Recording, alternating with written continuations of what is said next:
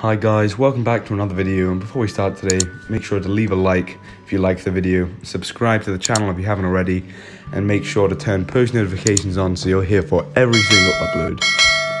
And without further ado, let's get into interesting animals that went extinct in the UK. Number 1 Okay guys, so for number one we have the Eurasian lynx or lynx lynx.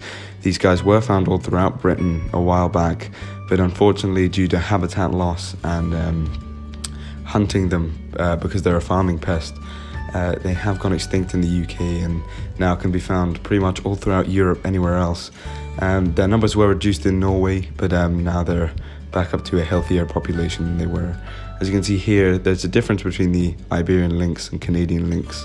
Uh, very similar, but there's a couple differences, and there's some info on that.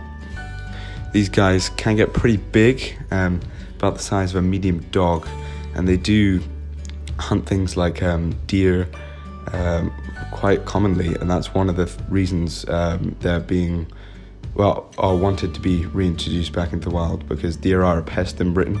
They are overpopulated, and things like lynx and wolves would help decline the population of deer, which would bring back things like forests and um, shrubs all around the UK. Number two. Okay, guys, so for number two, we have the European moose or Alces alces, and these guys are the biggest species of deer um, they're pretty much the same species as the American moose, um, or the Northern American moose, and these guys are absolutely huge. And one thing that's really interesting that a lot of people don't know is they do spend quite a lot of time underwater feeding on uh, water vegetation or aquatic vegetation. That's a main part of their diet. Um, these guys, like all deer, shed their velvet on their antlers once a year because um, they grow a new pair of antlers um, almost every year. You can find these antlers all around. Um, one of the main predators is wolves. Um, we'll go through three of the predators here. So we have wolves. Um, an interesting one is killer whales. Yeah, I know, sounds ridiculous, but when they're eating their aquatic vegetation, they do get them. And the third and final predator is bears. Number three. Okay guys, so for number three we have the European brown bear or Ursus arctos.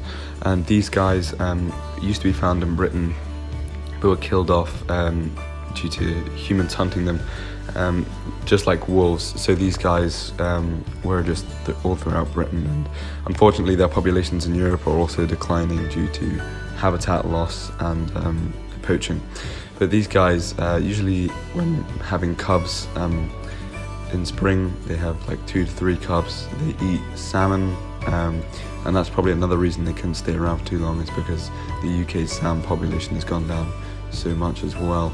But these guys are just absolutely beautiful creatures, and I think it's such a shame we've lost all the creatures on this list. Um, but guys, if you've enjoyed the video, please remember to leave a like, subscribe, and leave a comment in the comment section down below. Um, thank you so much for watching, and we'll see you in the next one.